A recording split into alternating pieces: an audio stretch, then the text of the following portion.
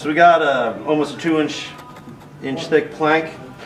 We're trying to split it right down the middle to give us twice the wood. She didn't bite on that. You're too smart. Gotta sneak it in you. She, she tried to sneak right, it. let's That do it. this. running the camera. Here we go.